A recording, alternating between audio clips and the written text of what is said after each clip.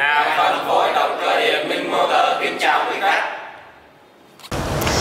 Kính chào quý vị tại nhà máy, kính chào bà con gần xa. Sau đây, công ty Hồng Phúc Minh Motor sẽ trình bày các lợi ích của động cơ điện có thể áp dụng cho các công trình của quý cô, chú, các anh chị.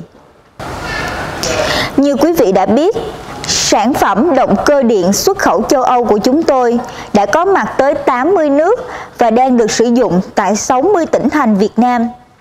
Tại sao có hàng triệu người trên toàn thế giới sử dụng lại motor này?